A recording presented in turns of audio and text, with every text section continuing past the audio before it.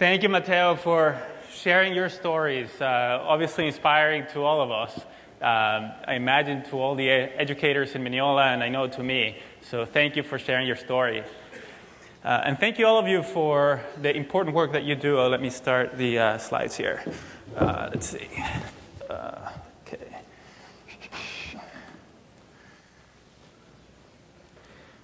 Uh, excuse me.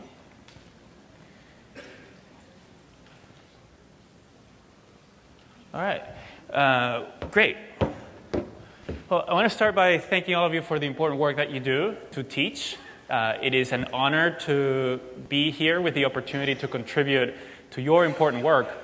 And for specifically Mineola, your work to inspire each student to be a lifelong learning, pursue excellence, exhibit strength of character, and contribute positively to a global society. I love your mission, and it's, it's an honor to be here to have the opportunity to contribute to it. My hope is that today we'll explore some ideas and some strategies that will help you further pursue that mission. Um, and also, that might give you some ideas and strategies in your personal life as well. So, I invite you to, as we are reflecting today and doing some exercises, uh, to think about your personal life as well and, and, and how this might apply to it. I'm also really excited to be in Mineola today in particular uh, for three reasons that I want to share with you before we get into the content on growth mindset. Uh, so, first of all, uh, Mineola is where my wife Allison and her sister Lauren uh, grew up. And they went to Mineola schools from kinder uh, in Jackson Avenue through uh, graduating at Mineola High School right here. And uh, when I met Allison, we were in college. Her parents lived just a block away from Mineola Library, uh, close to middle school, who are here today, by the way, Rich and Fran DiCiccio. Uh, some of you might know them, and some of you might have, uh, I know some of you knew Allison and Lauren when, you, when they were here. And um, so I was telling Dr. Nagler this in his office, and he said, Oh, great, well, let's look at some old yearbook photos. I said, great. So he pulled the yearbooks. He has all the yearbooks in his office, and we were looking at pictures, and I had so much fun. So I went back home, and I kept looking at pictures, and I want to share a couple of them with you. So here's uh, Allison in middle school and in high school. And as I was going through the high school yearbook, I was at first saying, oh, there, there's a good number of pictures of Allison here. Um, it's great. It's such a nice community, small community in Mineola. Everybody kind of knows each other and does everything. And I was like, wait a second. I think I know another reason why there are so many pictures here. She was a yearbook editor. Give a teenager an editing job, and this is what you get. Now, in fairness to her, she, she did participate in several activities and sports, uh, including soccer, which to this day uh, she does. She plays soccer every week. And she also earned uh, a few recognitions, which I was very proud of initially, until the recognitions lost all credibility with me when I saw that she was selected as the friendliest. My wife, the friendliest? Seriously? Now, I know that New, York, New Yorkers are not known to be the friendliest, but still, my wife. Now, maybe she changed since, maybe when she got married, who knows? no, but in all seriousness, um, just as an update on your alum, uh, Allison was inspired in part by all her Mineola teachers to become an educator as well, like Matteo and she became a second grade bilingual teacher in an immigrant community, uh, serving English language learners in particular. And she continued developing that, expect- that expertise, and now she teaches education at San Jose State University. Um, so uh, thank you for inspiring her and other students to contribute to a global society.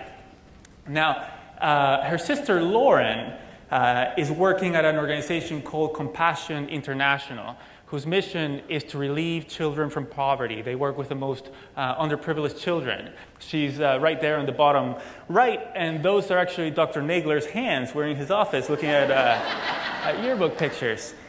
And when Lauren was a junior, something special happened for her, which is that she got the opportunity to start playing lacrosse here at Mineola High School. And she got that opportunity uh, because of the person who started that program, uh, who was Katie Sheehan, who still teaches here at the high school.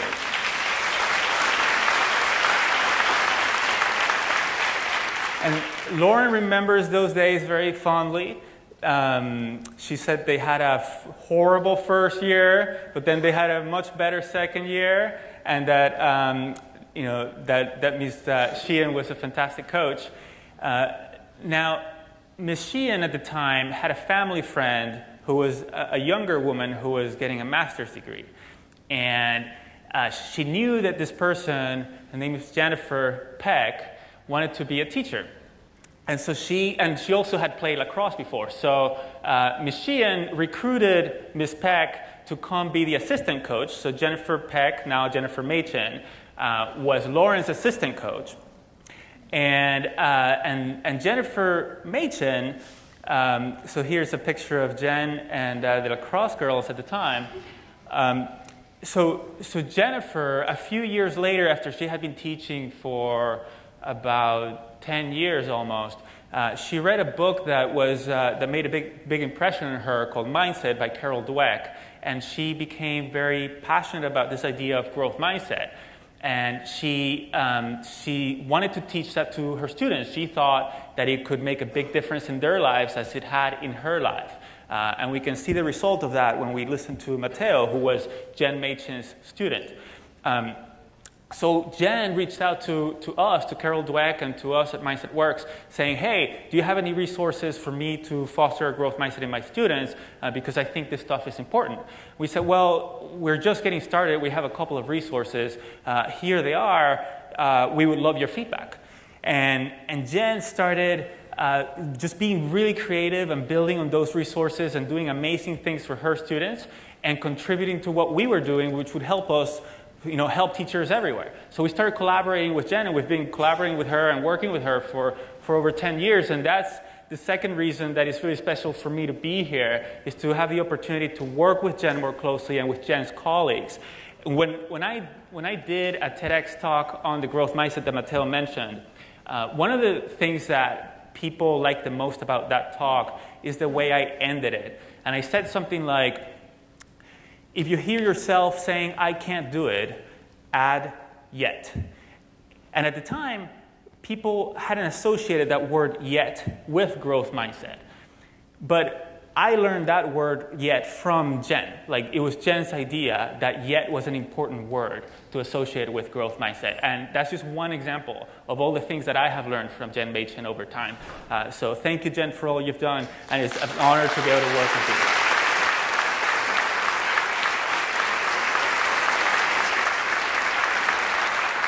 So that's the second reason why it's really special for me to be here in Mineola. The third reason is that gro- this growth mindset effort happening here is really being driven by the leadership, uh, by Dr. Nagler, by Matt Gavin.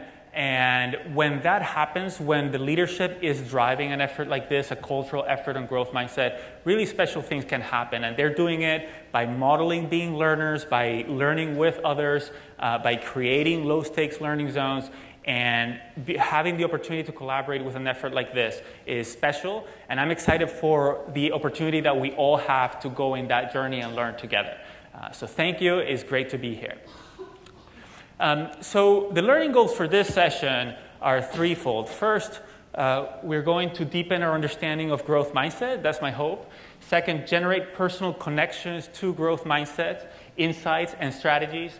And third, explore implications for our work to further strengthen learning and equity. What can we do about this? Let's identify some initial steps. Of course, this is going to be a never ending learning journey. We can always continue to learn on anything that we do. Um, and, and finally, uh, make progress on getting on the same page. So, meaning we're going to be doing a cohesive co- co- effort as a team here in Mineola. Let's start getting on the page about what we're talking about and how we're going about it. Um, so, just out of curiosity, before Mateo spoke earlier today, who had heard of growth mindset before? So, almost everybody, okay. Uh, so growth mindset was discovered by Professor Carol Dweck. She wrote this book called Mindset, which you can, if you haven't read, is, is one resource to learn more about it. Um, now, in the session today, we're going to do a couple of short exercises, and we're going to need your phones or mobile devices to do that. So I'll invite you to take those out right now, and we're going to do the first, the first reflection using them. And what you're going to do is you have two options either texting your answers or going to a URL in a browser. So you can do either. If you're texting, then I need you to text to the number 22333, the word works, and send that text. You only need to do that once. Or you can go to the URL at the bottom of this page, pollev.com slash works. And once you do that, I want you to either send another text or answer the, this question. Well, you can, uh, yeah. So you can either text to the number 22333, the word works, or go to the URL at the bottom of this page. And you'll have these instructions in the next page too. Once you do that, I want you to answer the question at the top of this page. In my own words, what does growth mindset mean? In my own words, what does growth mindset mean?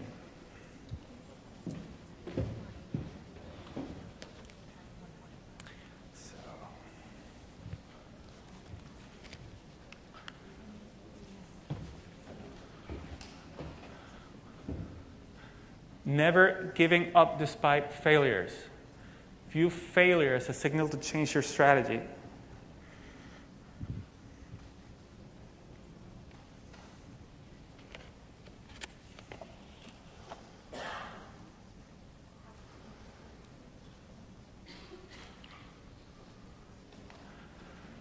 Never giving up on my dreams. Your current situation does not have to be your final destination. There are no limits.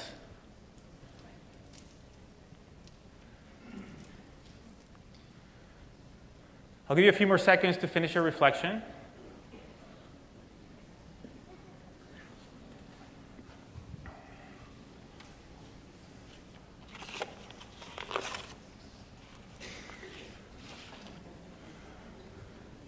All right, so you can continue submitting your answers if you'd like. The reason that I asked this question, the main reason, is that when we ask that question, we often get lots of different answers. And we, we got lots of different answers today. Um, and that's normal. That's where we are in the state of development of growth mindset. But growth mindset is not any number of a lot of things. Growth mindset is something actually very specific. And I want to make sure that we're clear about what we're talking about today uh, before we dive into growth mindset. So when we ask the question, we often hear it's working hard or believing in oneself, pursuing challenges, being open minded, having high expectations, persevering. And none of those things are a growth mindset. A growth mindset is the understanding that we can develop our qualities and abilities. You can phrase that in different ways, but what I want you to do now is look at what you wrote and think about whether you incorporated the idea that people can change or that abilities can change or that we can get better. That is the critical part of what a growth mindset is. And if we're not clear on that, it's really hard to foster a growth mindset and a growth mindset culture. Because what happens if we're not clear on that is that we tend to want to foster the behaviors directly, those things at the top, like working hard and persevering. We might tell kids, you have to work hard, you, you have to stick, at, stick to it. And what the growth mindset research has shown is that just doing that and trying to change the behaviors is not very effective if we don't try to also change the belief that is underlying those behaviors, the understanding that we can improve and we can, we can change. And that's what a growth mindset is. And we need to do both. It's not a bad thing to try to change the behaviors, but we also have to figure out what is this person, what am I thinking or what is this person thinking about the nature of qualities and abilities and how can we change that so that they see them as malleable. Um, so to give you a little bit of context on, on that exercise, uh, this is a chart of the Google searches for the term social emotional learning for the last five years. And so um, we can see that in the last five years, people have increased the rate at which they search for social emotional learning by about three times, from about 25 to about 75. So it's grown a lot in the last five years. Now, I'm going to add to this chart how often people have searched for the term growth mindset over the last five years, leaving the blue line so, as a reference. And this is what that looks like. So, over the last five years, people have become really interested in the term growth mindset. People have, there's been a lot of awareness and growth on, on growth mindset, and people think it's a good thing and are excited about it. But you know, growth mindset is a very nascent thing, and people are still, we're still not clear on even what it is. So we think it's a good thing and we're excited about it without being clear about what it is. That's fine. That's the normal part of learning. Um, but, but now what we need to do is try to really distill what does that really mean and how can we really make it happen. Um, so Jen uh, started working with us. This, the, the beginning of this chart starts in 2012. Jen started working with us in 2009. Uh, so the, when she read the book, you know, very few people had read the book, and she's been working at this for a long time. Um, so uh, growth mindset is the understanding that we can develop our qualities and abilities. Um, so one of those abilities that I'm particularly intrigued with in terms of a fixed or growth mindset about is the ability to play chess. Because chess is something that requires a lot of cognition. It requires kind of being able to think well, being able to be smart, right? And even more than chess, I'm intrigued by the idea of blindfold chess, which is when people play a game of chess completely blindfolded without looking at the chessboard. So they'll say bishop to d3, and the other person will say pawn to e7, and he'll say rook to d4. And they'll play the whole game of chess without even looking at the board. And I'm just thinking, wow, that's amazing. And some people can play blindfold chess with several games at the same time. So the first, the first player will make a move, the blindfold person will make a move, the second player will make a move, the blindfold person will take a move.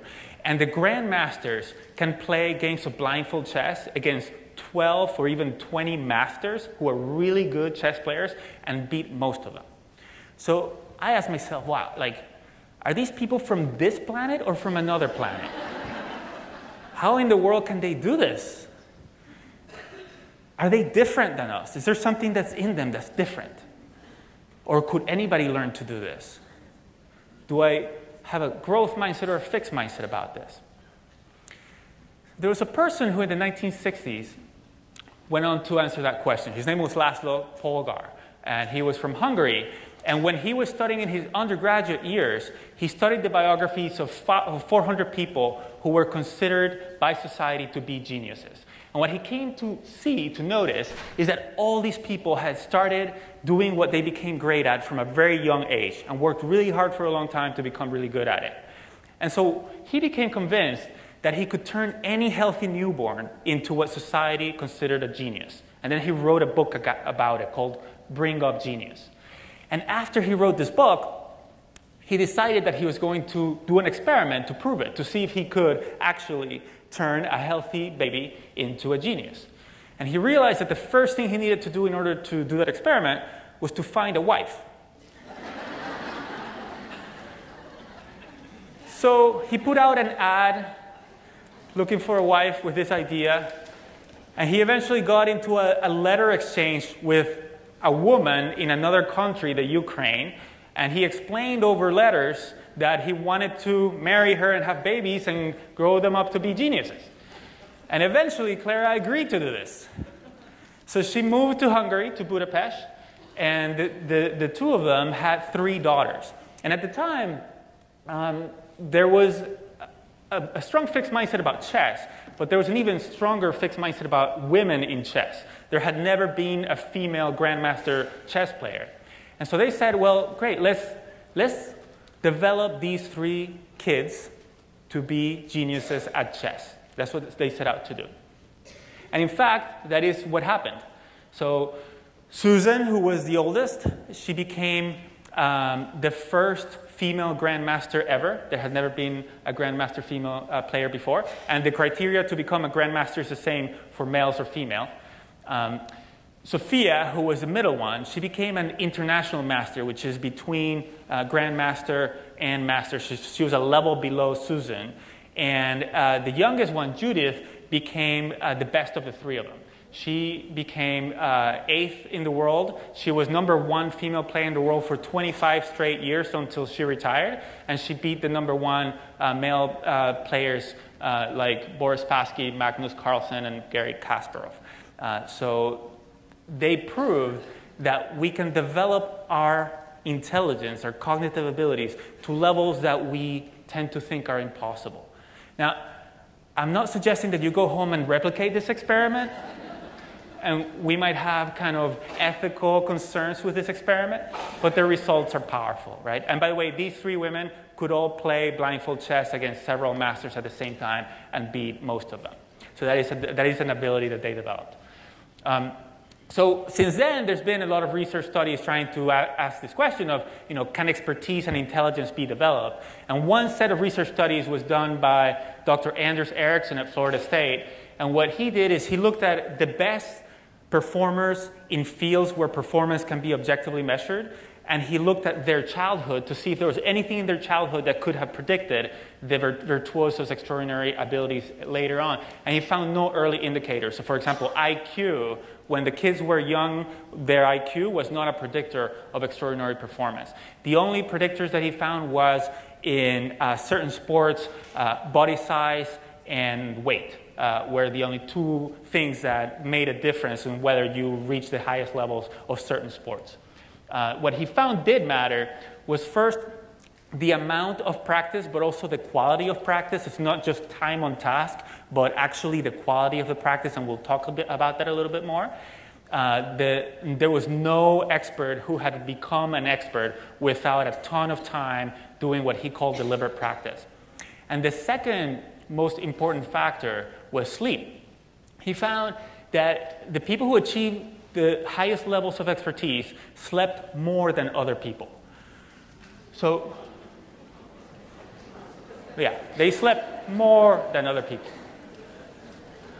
And there are a couple of reasons for that. First of all, deliberate practice involves full concentration at a very high challenge level beyond what we can currently do. That's really tiring for the brain. The brain needs to rest and to sleep in order to recover. But also, when we sleep, we learn. We make new neural connections, we disconnect other neurons that, that shouldn't be connected, and we become smarter when we sleep. So these people actually sleep more than other people. And more recently, we've gained the ability to look into brains and to image brains. And what brain imaging has shown is that when we think, what is happening in our brain is different neurons are connecting together. And a thought is just a group of neurons connecting with each other. And we have realized that we can actually create new connections and change the way that our neurons are connected, and that makes us smarter. So, for example, uh, there have been studies with London taxi drivers that have shown that before people become taxi drivers, their brains look like the brains of anybody else. But in order to become a taxi driver in London, you have to memorize 25,000 street names and you have to figure out where they are in the city. And you have to pass a really challenging test that says, you know, if you go from this school to this uh, hospital, what's the most effective way to drive from one to the other? And they have to actually, from memory, say what's the most effective way in a city that's not a grid. All the, all the streets are all bended, you know, to, it, it's a very complicated city. Uh, so when they looked at the brains of these taxi drivers, their hippocampus is actually bigger than the hippocampus of other people, or the hippocampus of people before they have studied for this test. So the hippocampus, which is involved in memory and in spatial thinking, uh, becomes stronger and bigger when they study for this, this challenging test. Same thing in animals. When you look at the brains of animals who are in boring environments, uh, those brains are less dense and they weigh less than the brains of animals who are in stimulating environments with other animals and toys and odors and, and tastes. Uh, so we have seen that we can physically change brains and that makes us functionally smarter, um, which is what a growth mindset is. So there's a couple of examples of people who tend, tended to be in a growth mindset a lot of the time. One of them is Einstein, whom I think is an interesting example because we tend to think of him with a fixed mindset. We tend to think that he did all these amazing things because his intelligence was fixed at a high level. He was different than other people somehow, and that's why he could think this way. but that's not how he thought about it himself. He had a lot of growth mindset quotes. Uh, one of them, as an example, is It's not that I'm so smart, it's just that I stay with a problem longer. So he thought that his ability to solve problems was a result of his process, not something that was fixed in him. Another example, more recent, is uh, the investors Warren Buffett and Charlie Munger, who are considered the best, most successful investors of the 20th century. And they're also very kind people they, and generous people. They have given over 85% of their net worth to philanthropy. And the question is do they think of investing as something that's fixed in them? They're great investors because that's how they are. Or is that something that they have developed over time? Charlie Munger says Warren Buffett has become a lot better as an investor since the day I met him, and so have I. If we had been frozen at any given stage with the knowledge we had, the record would have been much worse than it is. So the game is to keep learning. And Warren Buffett says, I just sit in my office and read all day. Read 500 pages like this every day. That's how knowledge builds up, like compound interest. So there are people who think of their craft as something that they just continue to get better and better and better at over time. And they understand that anybody in the world can always continue to get better. The best person in any one thing could continue to get better in that thing, right? Um, so, uh, why does a growth mindset lead to higher performance? Like, for example, in the case of Einstein, in the case of Buffett, and in the case of lots of other research. Uh, so, first of all, when we look at people's brains, we see that they're working at different times. So when, when we put adults working to solve problems while we are doing a functional uh, MRI of their brain, what we see is that people in a fixed mindset who think that intelligence is fixed, they're very interested in just getting information about whether they got the problem right or wrong, whether they were correct or incorrect. That's when their brain is very attentive and active. Then when they're, when they're getting information about what mistake they made, and what they could do better next time, their brain is not active at all. It's not paying attention. Whereas people who, who think that intelligence can be developed, their brain notices whether they got something right or wrong, but it's most attentive when they're getting information about what mistake they made and what they could do better next time. So they're learning from their mistakes. And, and because of that, then in the future problems, they also do better. The people in a growth mindset, they learn more from their mistakes, and then they use that and to do better in future problems in that experiment. So that gives us an idea of what's happening differently in, in the brains of people with a fixed mindset or growth mindset that, that accelerates growth and performance. So that's just an example, but to summarize lots of other research out there on growth mindset, um, this different belief of whether we think of abilities and qualities as malleable leads us to behave differently, like, for example, how we see mistakes, and then that leads to different results. Uh, so, first, people in a fixed mindset are most interested in looking smart in front of other people, looking talented. If there's only smart and non smart people, they want to be in the smart category. And the way, the way they go about doing that is they keep doing the things that they know how to do well and they're comfortable with, right? The, the, things they can do quickly and without effort and without mistakes. They keep doing that because they keep getting feedback that they're, they're, they're smart as a result of that. Uh, versus people in a growth mindset can get bored if we're doing that. So if students can seem unmotivated if they're in a growth mindset, if we're not challenging them. If we're not giving them stuff that's going to help them grow, they're going to say, This is a waste of my time, and they're going to look unmotivated. So we have to challenge them. Um, second, people in a fixed mindset see effort as something that's negative, something that only people with low ability need effort, people with high ability don't need effort. Versus people in a growth mindset understand that anybody can get better through effort, so they want to be putting effort into things. That makes them feel good about themselves. Um, people in a fixed mindset avoid challenges versus seek challenges. Uh, when change happens, like in the school or the economy or anything else, that is seen by the brain as a threat if we're in a fixed mindset versus as a challenge if we're in a growth mindset when we experience setbacks or make mistakes, people in a fixed mindset take that as evidence that they have low ability. So as a result of that, they disengage. They say, oh, this is as, as far as I can get with my abilities. I'm going to go do something else now. Versus people in a growth mindset are a lot more resilient. They look for different strategies. They stick to it. They ask for help. Um, and, and so they, because they understand that setbacks are part of the learning process. Um, people in a fixed mindset, when they receive criticism or feedback, they act defensively because they, they interpret that as a personal attack versus people in a growth mindset listen. They say, what is this person saying? And is there something that I can learn from this? Is this something that could be useful to me? When other people succeed, people in a fixed mindset see that as a threat versus as an opportunity to learn from that person or, or inspiration about what we can achieve. Um, when there is wrongdoing, like for example, foul politics in the office or bullying at school, when we're in a fixed mindset, we tend to think that the other person is fixed in that way. So we tend to uh, attribute that to fixed traits in the other person versus to the situation that the person is in or to their current motivations, both of which can change. So the response to that wrongdoing is different. When we're in a fixed mindset, we tend to engage in warfare and reta- retaliation, versus in a growth mindset, we tend to engage in uh, conversation and education and negotiation and compromise, trying to reach mutual compromise.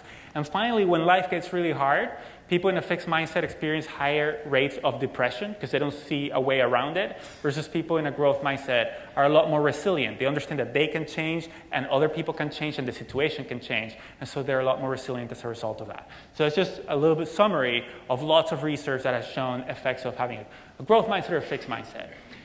The other question that we get uh, frequently is whether we can have or be in a growth mindset about one thing and in a fixed mindset about something else, which the answer is yes. Uh, so, for example, we might be in a growth mindset about learning a new language, thinking that we can learn, you know, French or Chinese, uh, while at the same time we can be in a fixed mindset about being creative. Like I'm just not a creative person. And these mindsets can also change. Like we might go to the Fab Lab here and learn some techniques that, that make us feel creative and learn, learn how to be more creative. And that might change our mindset about creativity. We might then develop more of a growth mindset about being creative. Right? We might have a, a fixed mindset about speaking in public or about being socially engaging, something that we can't learn to do better. Uh, using technology, playing sports, connecting with a student and developing a relationship with students, uh, or managing the complexity of life. Or managing email. Like, do we think that our ability to manage email is fixed, or can we become better at it? Right?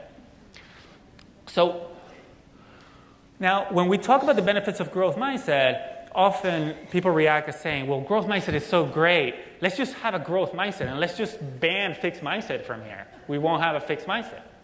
And unfortunately, mindsets don't work that way. We are humans and fixed mindsets are part of being human. So a helpful early step in this growth mindset journey is to observe our own mindsets, and especially our fixed mindsets, and how they're affecting us. And that increased self awareness and increased understanding of mindsets help us better develop a growth mindset over time. So, we're going to do a little exercise right now.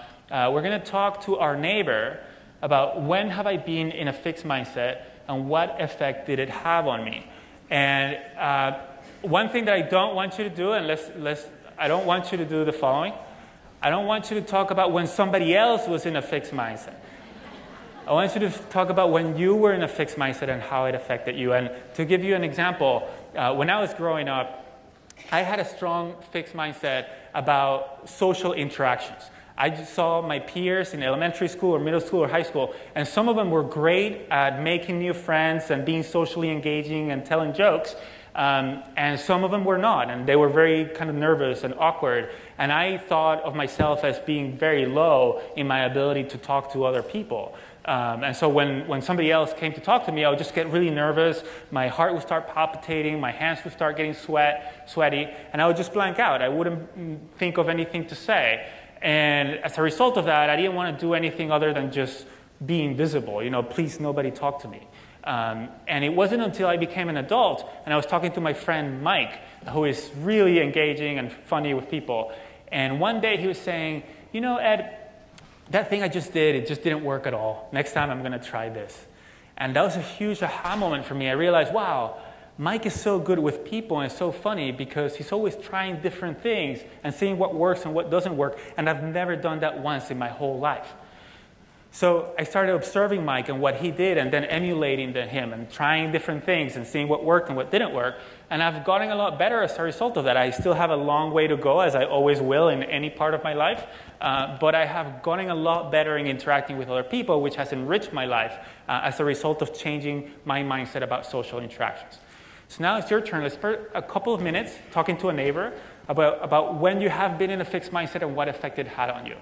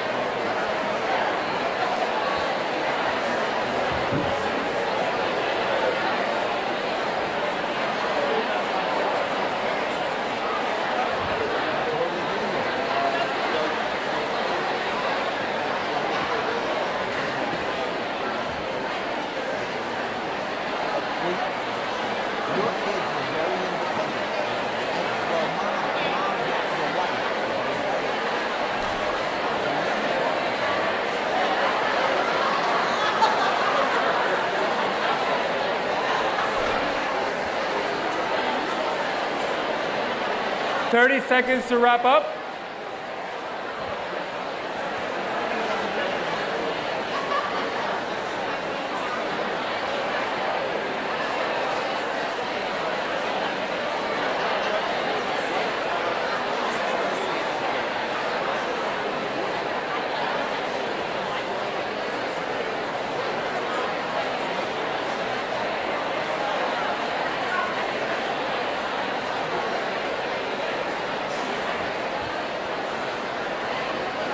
Great, let's bring it back.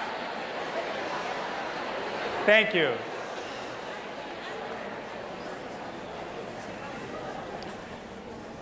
Thank you for exploring this. Sorry to, to cut off the conversations. I encourage you to continue those conversations afterwards and throughout the year. Uh, they help us better understand mindsets as we explore them and also increase our own self awareness, uh, especially if when we're in a fixed mindset, which then helps us cultivate a growth mindset in ourselves and in other people as well. Um, also, having those conversations are a bit deeper than some of the conversations that we have, and that helps us connect with other people, right? Develop our relationships with other people. So, thank you for engaging. Um, I'd like for us to explore a little bit our growth mindset or fixed mindset, not about ourselves, but about our students. Uh, I want to share a research study with you on this. There was a Harvard researcher by the name of Robert Rosenthal um, who, in the 1960s, uh, went to some schools and he had the students take a IQ test. Um, and he explained to the teachers, to educators in the school, that this test was going to show which students were in the verge of intense intellectual growth, which students were going to have a great year intellectually and grow intellectually um, uh, throughout the year. And so the students took this test and they analyzed the results and they went to the teachers and they said, okay, you know, here are the students who are going to have an intellectual, uh, an amazing intellectual year this coming year. And the researchers left and they didn't do anything else. And at the end of the year, they came back and they had the students take another test uh, that also measured their IQ. And they found that over the year, the students they identified were two and a half more likely to increase their IQ by 20 plus points throughout the year. And also, they were four, over four times more likely to increase their IQ by over 30 points throughout the year. Now, this, one thing that this also shows is that IQ is malleable, right? We can become smarter. Um, but the researchers did not tell the teachers at the beginning of the year that they had lied. This, this test didn't exist. It was a regular IQ test. Uh, it wasn't meant to measure which students were at the verge of intellectual growth. Instead, the researchers had randomly chosen the students and given it to the teachers. So the only difference between the group of students who were identified and the groups of students who were not identified was whether the teachers thought that the students were going to grow a lot. That was the only difference. Um, and so then the researchers went back to the class and said, wow, you know, this is really powerful. What's happening here? Why is this happening? And they observed the teachers teaching. To, and, and they did the experiment again. They did several experiments to figure out what was happening. And what they found is that when the teachers thought that these students were going to grow a lot throughout the year, they behaved differently with those students than with other students. So first of all, they created a warmer relationship with those students through like a smile, you know, speaking with them more, tapping their back, right?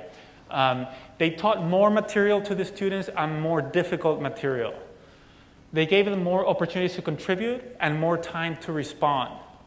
And they shared more detailed and more personal feedback, not just good work, but actually here's what you could do to improve. Um, and it was these behaviors that the teachers were doing unconsciously. They didn't mean to be treating these students differently. But unconsciously, the teachers were treating these students differently. And as a result of that, the students were growing a lot more than the other students. So we can reflect do we have the belief that all students can grow intellectually, substantially? Because otherwise, if, if we don't, then that's affecting our behavior. So we can reflect on our mindsets, and that's one thing we can do. But the other thing that we can do is work on these behaviors as well. Make sure that we're doing this with all students, and especially with the students who don't look like us. Uh, because unconsciously, we tend to not do these things with those students who don't look like us and who come from different backgrounds. Um, so, do I believe all students can flourish? And how might that, that, that be affecting my behaviors is something to reflect on. And sometimes we think, well, we don't do that. I don't do that. And, and, and that's our reaction because these things are unconscious. We don't mean to do these things. But I encourage you, if you're thinking that way, to actually measure it. Like videotape yourself and watch the video later and actually like see how many times you call on somebody, how much time you give them, uh, so you can see it in yourself as well. It might be boys versus girls, or it might be different groups of people that you're treating differently. Um, so a growth mindset is powerful and I think it's necessary to make the most out of life and to learn the most we can about anything. But also, I want to make sure that I say that it's not sufficient. A growth mindset is just the beginning of learning, it's not the end of learning. And so, some examples of things that students also need include they need to be able to meet their basic physiological needs, like they need to feel physically and emotionally safe, right? Not bullied, for example. Um, they need to be able to explore things that they deem interesting or valuable or relevant. Not that we think is interesting and important, but that they feel that way. And it's our responsibility to make it interesting for them. Um, they need the sense that they belong in a learning community. When they look at other students and teachers, they see a bunch of learners, people who want to continue to grow themselves. Um, and they need great and ever improving instruction. We can always improve as teachers, and if we improve as teachers, we'll make our students more and more successful over time. So it's our responsibility to to continue to grow as adults, which helps foster a growth mindset in students, but also helps create all the conditions that are also necessary for them to thrive. So, growth mindset is necessary, but not sufficient. But it is necessary for great learning. And so, let's explore a little bit what are some strategies to build a growth mindset in ourselves and in others. Um, so, um, I'm going to share with you three strategies on how to foster a growth mindset. First, we can learn and teach that abilities can be developed. That is the definition of a growth mindset, right? Is that abilities and qualities can be developed. So we can study the science behind that so that we learn about it and we can have students study the same thing and we can kind of learn about it together, right? As examples, we can study uh, the neuroplasticity, right? The science that shows that the brain is malleable, like the neuroscience uh, studies that I talked about. We can study how top experts became top experts. Sometimes we see people do amazing things, like we might see, you know, Serena Williams playing tennis uh, or another great performer, Cirque du Soleil, and we think, oh my God, these people are different than other people. But if we study how they became that way, uh, then that helps us build a growth mindset. And then we can embed what we're learning into everything we say and do. If we believe that abilities are malleable and that everybody can become better, are we acting that way every day, right? By giving people feedback they can learn from, by identifying what we want to get better at, by taking on challenges, talking about mistakes, etc. Uh, second, we can learn and teach effective ways to develop the abilities because we need to not only know that we can improve, but we also have to figure out how can people improve effectively? What are the strategies that work better and not so much so that we can actually become better at getting better? And finally, we can model lifelong learning and belong into a learning community. If we are saying to students that lifelong learning is important, are we actually behaving that way? Are we behaving like lifelong learners? Because if we are not, our actions are going to speak louder than our words. If they see that we're not being learners, then they're going to do as we do, not as we say. Now, in this session, I'm going to focus a little bit on this second strategy, right? Learn and teach effective ways to develop abilities. When we learn how to grow, then we become convinced that we can grow. And to do this, I'm going to share a uh, analogy with a group of people who are fantastic performers, and they're very inspirational to me, which is Cirque du Soleil. Uh, has anybody seen Cirque du Soleil perform before? Great. So when I see them, I'm in awe. They do these amazing things and they do them beautifully and artistically. And something that strikes me is that they seldom make mistakes. They do things almost flawlessly, which to me is, is a little bit of a conflict because what we're saying in a growth mindset world is that we want students to be making mistakes and learning from them.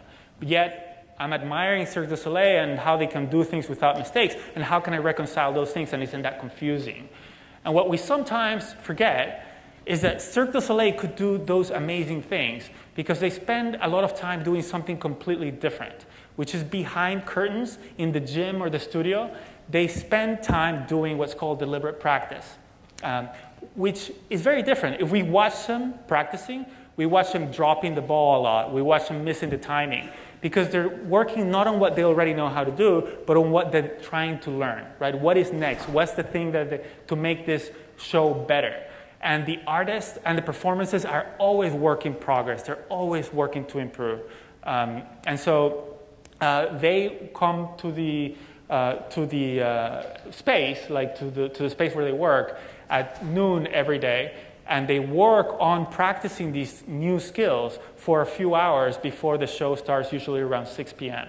Um, so they're always doing this. Same thing in sports, right? So uh, in a championship match on the right, uh, people might focus on what they know really well. They're trying to minimize mistakes, right? Uh, so if you're having trouble with your left hand topspin, you're going to try to avoid that in the game because you know that you're going to, it's going to be a fault. Uh, but when you go to practice, you're going to tell your coach, all right, I'm having trouble with my left hand uh, topspin, so let's work on that, right? The focus is very different. And what we see in top performers is that they alternate between the learning zone and the performance zone all the time. Uh, Roger Federer, who just won Wimbledon and is considered one of the best tennis players of all time, was once being interviewed by a reporter, and he said, December was crucial. I don't want to say this in a cocky way, but I believe I worked the hardest from the top eight players in the offseason. Many guys went off to play exhibitions or were in the Davis Cup. That is, they were on their performance zone. I had time, I put my head down and worked. He was on the left, and that was really important to him. So, top performers alternate between what's called the performance zone and the learning zone. And after each performance, they reflect and they say, what went well, what could go better next time? Okay, what should I practice on, on the, in the learning zone? And then after they, they uh, practice their skills on the learning zone, they go and they apply them in the performance zone. So to unpack this a little bit more, in the learning zone, our goal is to improve versus in the performance zone, our goal is to perform. Uh, the activities are, are different, and we're going to explore that a little bit more. They're designed for improvement versus performance. We focus on what we don't know versus what we have already mastered. Now, in the learning zone, if we're working on things we don't know how to do yet, then of course mistakes are going to be expected. We're going to make, we're going to expect to make mistakes because we're trying to work, do things that we don't know how to do. Versus in the learning zone, uh, we're trying to avoid mistakes, to minimize mistakes. Uh, the common source of mistakes is the challenge level in the learning zone. When we make mistakes in the performance zone, there's still opportunities for improvement. We, can, we should always reflect on mistakes and what we can learn from them. Usually, in the performance zone, the source of mistakes is that we got distracted or we're trying to multitask, we lost focus, uh, and that's usually the lesson from the performance zone mistakes. Uh, the, the desired response to mistakes is always learning, and the optimal mindset in both zones is a growth mindset. Now, in the learning zone, if mistakes are to be expected, then the learning zone requires low stakes. The consequence of those mistakes must not be catastrophic or even very significant. Right? So a tightrope walker in Cirque du Soleil is not going to try new tricks unless they have a net underneath because they know they're going to fall. if They're trying something they don't know how to do. They better not die, right? And often in our workplaces or in our schools, we feel like mistakes are high stakes. Students often feel like if they say something wrong, other people are going to think less of them, other students or the teacher, and that people want right answers all the time, not wrong answers. Um, and that pushes people to the performance zone. Same thing happens in our, in our workplaces, right? Where if bosses are, you know, are not, or principals or whatever, uh, are not tolerant of mistakes, uh, that means that we are going to always be in our performance zone. That stagnates us that, that, that stalls our growth. Um, so let's do a quick little poll here. Do I think most students see school as a learning zone or a performance zone? So strong, if you think it's a strong learning zone, that's A. Mostly a learning zone is B. Neither one nor the other C. Mostly a performance zone is D, and a strong performance zone is E.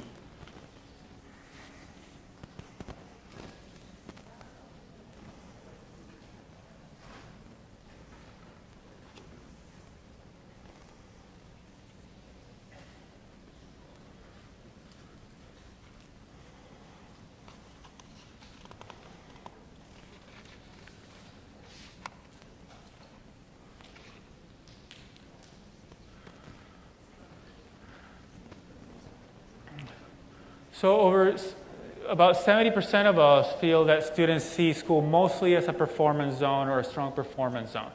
I think that there's a lot of things we can do to improve education, but if we don't fix this, it's going to be really hard for students to thrive and to do, make the most out of school and to really maximize their learning. Um, so let's do another reflection.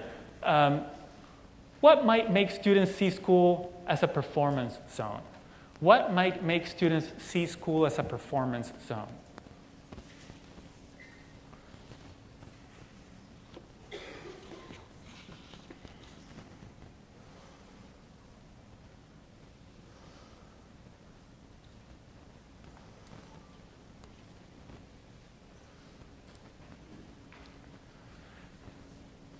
Test, focus on testing, the weight of test, testing. Uh, do I see a pattern here? Grades, all the assessments, Regents exams, tests, all the testing for losing points for each mistake. Now, I think there's way too much testing in schools uh, right now, for sure, and especially way too much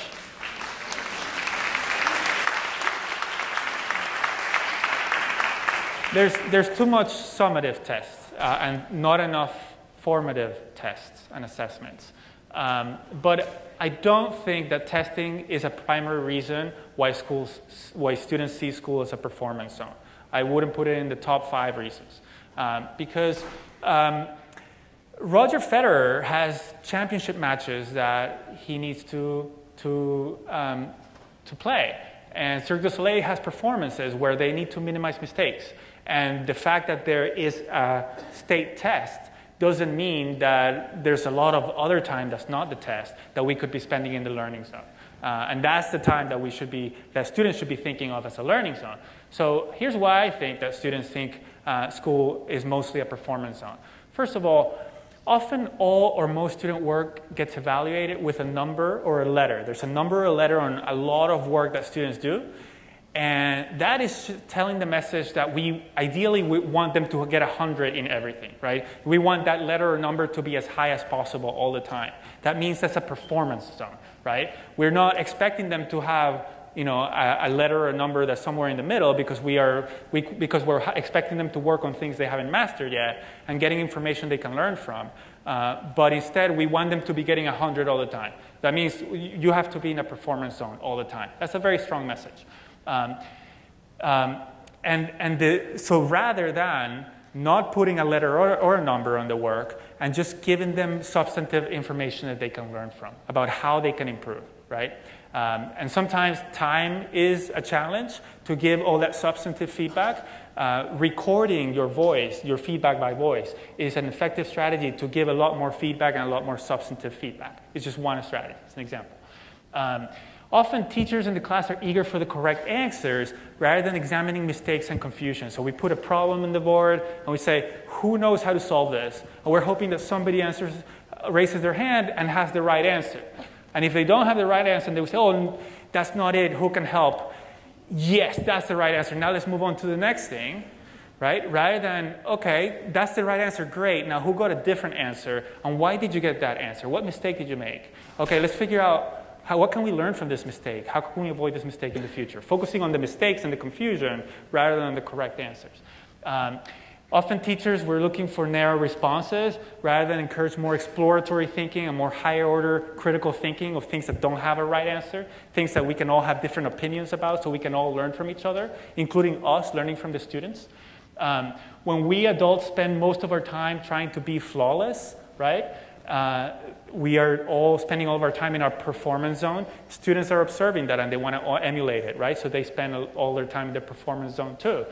And finally, I think very important is there's lack of clarity in the difference between these two zones. We're not distinguishing when we want to be in the performance zone versus when we want to be in the learning zone. Uh, be, and so we might say mistakes are great. You know, we want to be making mistakes, but then sometimes when students make mistakes, we get disappointed, or when they don't make mistakes, we get happy. And they observe that and they say, "Oh, he or she didn't mean that when she was talking about mistakes," because we're not differentiating how this situation is different from other situations.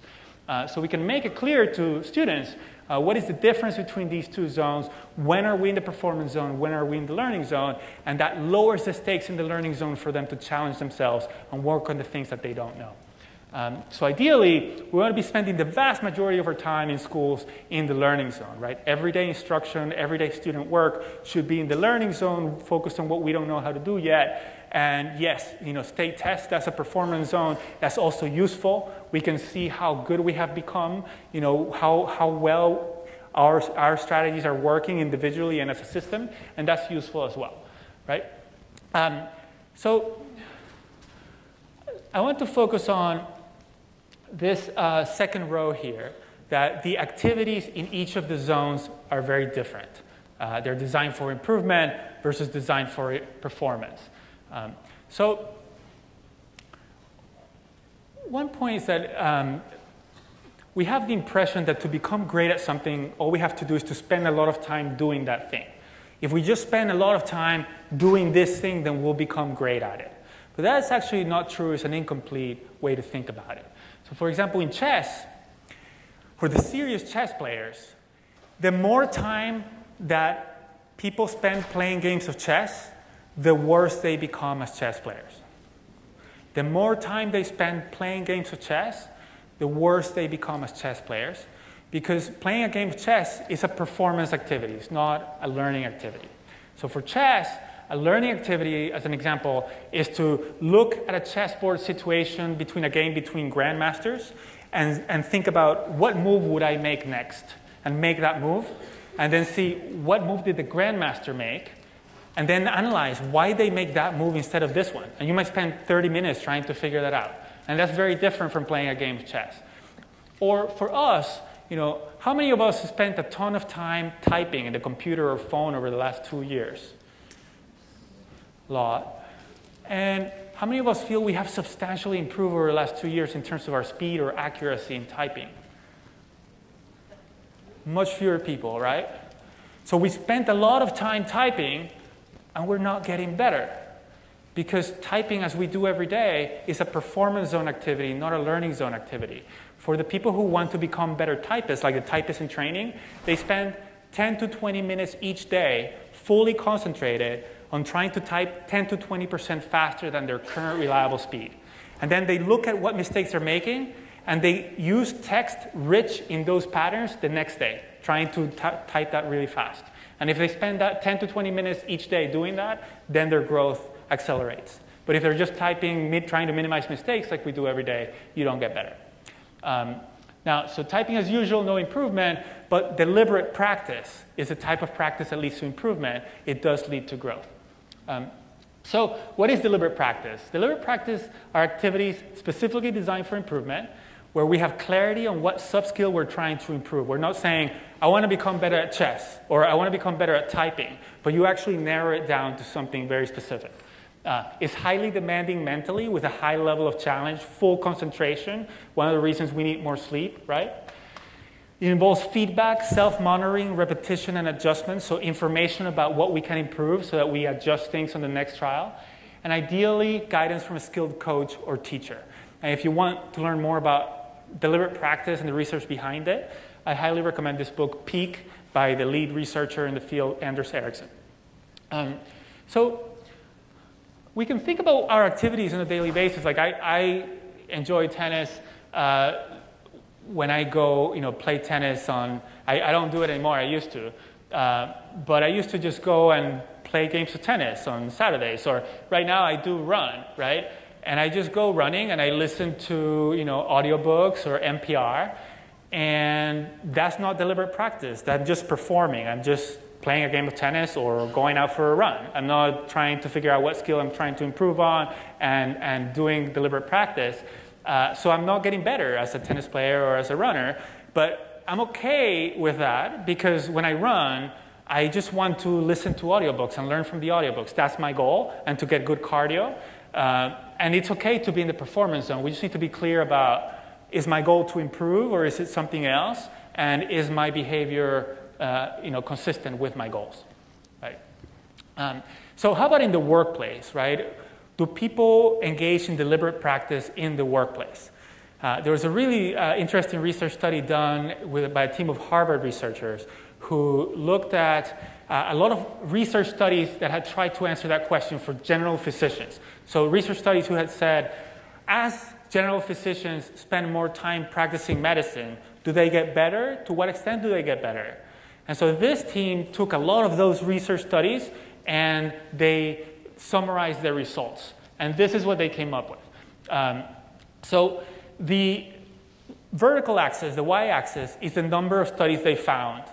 And the bar chart on the left in black is the number of studies that they found that found that the more years of experience of a general physician, the worse that they became. The white bar on the right is the number of studies that they found that showed that the more years of experience of a general physician, the better they became. And the bars in the middle are somewhere in between. So we can see that on average, this is not true of all general physicians, but on average, general physicians get worse the more years they practice medicine. Why is that? Because they're spending all their time in the performance zone. They're really busy, just you know, seeing patients all the time, and they're not, they they don't find the time to spend in the learning zone. And in general medicine, they also tend to forget information that's relevant to less frequent diagnosis, and they also don't keep up with changes in technology and techniques, so they become worse over time. Now, how about teachers, right? How about us? What does the data look like for teachers? For teachers, the data looks more like the data in other domains. And it looks like this, like the, the bar in the middle, the solid bar, is the average. And what it, looks, what it shows is that in the first few years of the profession, people grow a lot, and then they tend to kind of stagnate and grow a little bit over time after that. Um, so we can see that in the first three years, there's a lot of growth, and in the next seven years, there's relatively little growth. So the growth per year in the, in the first three years is very different than years three to 10. Um, now, the dotted lines are the 75th, 75th percentile of schools and the 25th percentile of schools. So at the 25th percentile, we can see that bottom dotted line.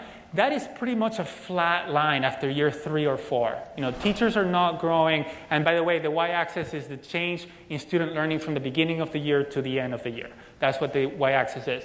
Um, so in the 25th percentile, this, this school's, you know, the teachers are not growing much after year three or four. In the 75th percentile, they're actually growing a good amount. We can see that they continue to grow through time. And so the researchers went into the schools and said, well, what distinguishes these schools at the 75th percentile from the schools at the 25th percentile? And what they found is that in the schools at the 75th percentile, there were trusting, respectful, safe collaboration among, among teachers. There was time and resources for teachers to improve their instructional abilities. There was teacher evaluation that provided meaningful feedback, not just you know, good job or bad job. And there were school leaders who supported teachers. So in other words, there was mechanisms for teachers to spend in the learning zone, including low stakes and collaboration among teachers to learn from one another. Um, so a couple of sample learning zone activities for educators. And as we go through this, I would love for you to think about which ones of these am I doing well? I feel like I, I am engaging in well. And are there some of these that I could engage in more, right? And I could improve upon? Read books about instruction and teaching. Watch videos. Take courses. Attend high quality PDs. Identify what sub-skill I want to improve and how I'll go about improvement and share that with colleagues so that they can give me ideas and feedback. Seek feedback from leaders and peers. Invite them to my room to observe and feedback from students. Videotape my own lessons and review them, or send them to a coach or colleague for feedback. Observe other colleagues or experts in videos and emulate them. Try different strategies from them. Experiment with new practices and assess their impact. Or reflect on what went well, what didn't go well, and what to try differently next time. So, are there one or two of these things that you could improve upon and that you are interested in improving upon? If so, make a note of it. So let's do a little survey. To what extent do I spend time in the learning zone? A, if I spend significant time in the learning zone as an individual and with my colleagues. B, if I am pretty good when it comes to the learning zone, but I could improve a bit more. I spend some time in the learning zone, but could significantly improve C, and I spend almost no time in the learning zone D.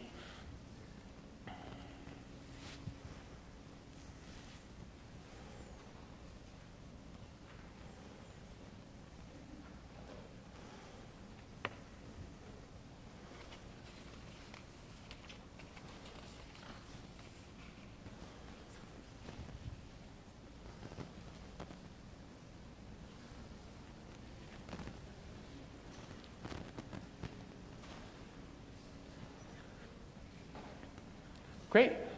So most of us feel I'm pretty good when it comes to learning zone, but I could improve a bit more. Great. I hope that we explore some ideas for you to do that, uh, regardless of where you are in this spectrum. So what makes it challenging for me to spend more time in the learning zone? Let's reflect on that.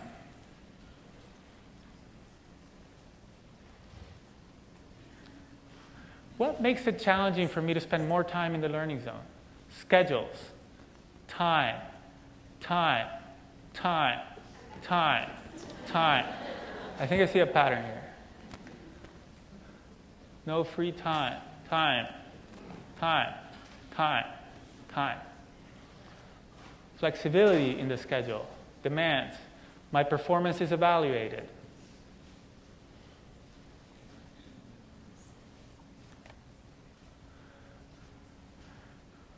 Great. Well, I want, I want to share some thoughts with regards to the challenge of time. Okay? There was a famous violinist who once went to um, his famous violinist teacher, and he was curious as to how much time he should spend doing deliberate practice. So he asked him, How many hours a day should I practice?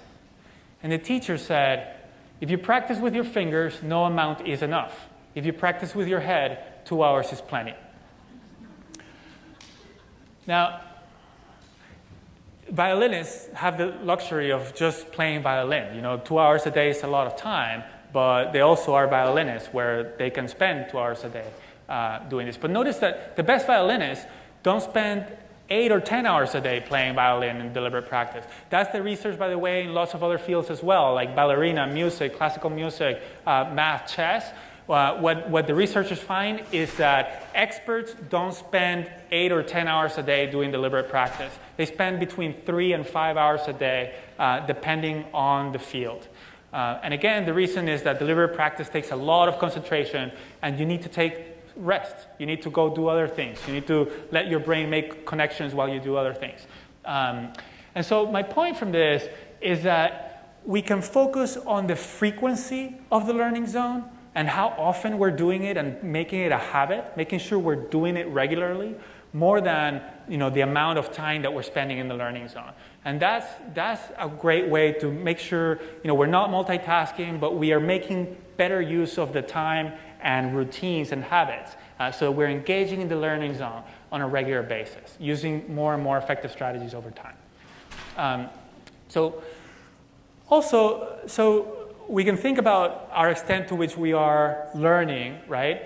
But also I want you to reflect that your students and colleagues and people in your lives are observing you and they're finally attuned to you, right? And through your behavior and what you're saying, they learn whether you think that abilities are malleable, you know, to what extent you are in a growth mindset, whether growing our abilities is important here in Mineola or here at home, and how we go about improvement. They're learning from observing you. So in, we need to not only be in the learning zone and, and make sure we're regularly in the learning zone, but we also have to make it visible. Like if we are portraying ourselves as just knowers, know it all in front of students, as people who have all the answers and don't have any questions, people who are perfect and can't improve anymore. Even if we're learning behind curtains like Cirque du Soleil, they're seeing us as people who are not learners and they're going to emulate us. So, in order to influence them the most, we have to make our learning visible. We have to talk about what are we trying to improve? How are we going about it? What mistakes are we making and what are we learning from those mistakes? Uh, so that they see us as lifelong learners, the lifelong learners that we want them to become. Um, so let's reflect how could I spend more time in the learning zone as a regular habit and make it visible? What is one thing that you could improve upon?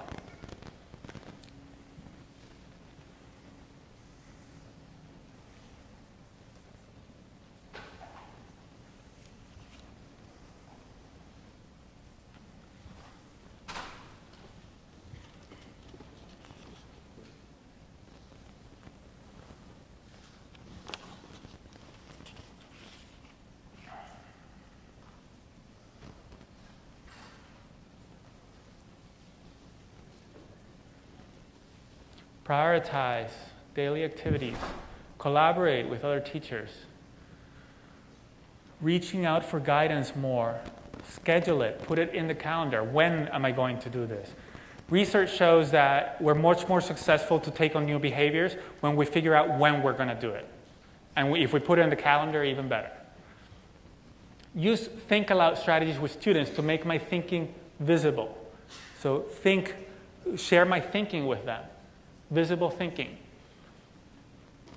Share more of my questions with students and insights with students and with other teachers.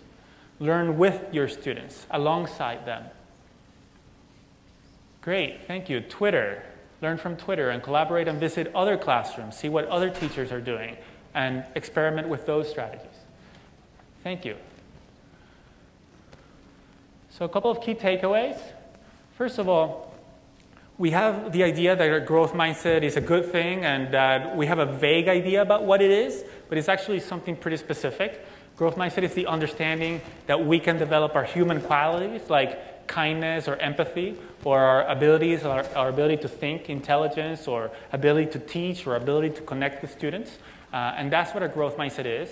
And the belief, that specific belief, is understanding is, is necessary for the behaviors to take place. In order to work hard and to persevere, to take on challenges, we, we need to have this belief. So we have to be deliberate about how are we going to build this belief in ourselves, our colleagues, and our students. Uh, in order to build that belief, uh, we can learn and teach that abilities can be developed, like the neuroscience behind the brain being malleable or studying how people became experts. Uh, we can learn and teach effective ways to develop, develop abilities, and the learning zone versus performance zone is an example of that. But this is a lifelong journey to study how does learning happen and how can we become better learners and foster students as better learners. That's something we can always improve upon. And finally, we can foster great relationships with students, model lifelong learning, and support our, my own growth and the growth of others. And those are three ways to build growth mindsets. And there's great power in doing this together. And again, what, the reason I'm so excited to be here, the reason number three, is that you're all doing this together, and we're going to be collaborating with you uh, throughout the year and learning from you and, and lear- learning from what you're doing, just like we have learned from Jen Machen's work over the next 10 years. And I'm really excited to do that. And when we do things together, uh, is a lot more powerful, A, because we learn from one another, but also because students are getting the same message from all classrooms, right? And we're developing a common language and a common understanding that makes our work that much more powerful and consistent. Um, so, a couple of resources along the way. We have a newsletter where educators share practices of what they're doing in their schools. Uh, you can subscribe to it at newsletter.mindsetworks.com. Uh, we have TEDx talks on growth mindsets and also on performance zone versus the learning zone, as well as articles on these. Um, we have resources on our website, mindsetworks.com, which you will have access to. We, we have a partnership with Mineola, again, that I'm very excited about, and you'll have access to our resources on our website. Um, if you want to learn more about growth mindset, the book Mindset by Carol Dweck is the, the, the authoritative book on that. Uh, and the book Peak by Anders Ericsson is the authoritative book on deliberate practice. Uh, and you have as a resource your district and your colleagues as well as us. And we look forward to being in this journey with you. Um, so, a couple of uh, two more questions for you, and this is as a, a request to support my learning zone. Uh, I'm going to ask you for feedback. And I'm going to ask you two questions. One is how well this session worked for you. And the second question I'll ask you is what could I do better next time? Uh, so the first question, how would you rate this session? Uh, let's answer that and then I'll, I'll, I'll ask you the last question.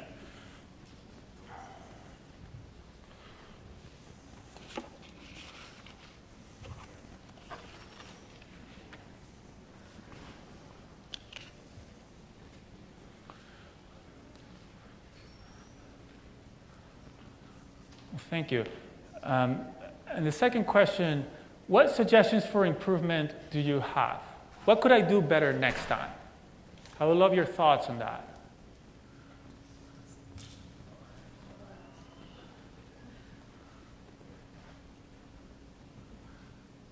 Leave the books up longer. Thank you. Um, Mindset by Carol Dweck and Peak by Anders Ericsson there's another book called Peak, which is also really good by Chip Conley, but that's not the book. It's Peak by Anders Ericsson. Spend more time on graphs and make them more visible. visible. Thank you. More reflection time. Thank you. Smaller groups with brainstorming practical ideas. Thank you. Break it into two sessions. Give us a copy of the slides to follow along and take notes on the ideas we love. Great. Thank you for, for the ideas. Uh, keep them coming. I will review this later. I really appreciate that. And I'll leave you with three questions. First, what did I learn today? Is there anything I learned? Second, what will I do? Is there something, some actions that I will take as a result of our effort starting in a growth mindset journey? And third, who will I become? In a growth mindset, we see life as a continuing process of becoming, something that we never stop doing. And so, who do I want to become next, and how will I get there? Um, we, we look forward to being in this journey together with you. Uh, have a great year, and we look forward to collaborating with you. Thank you.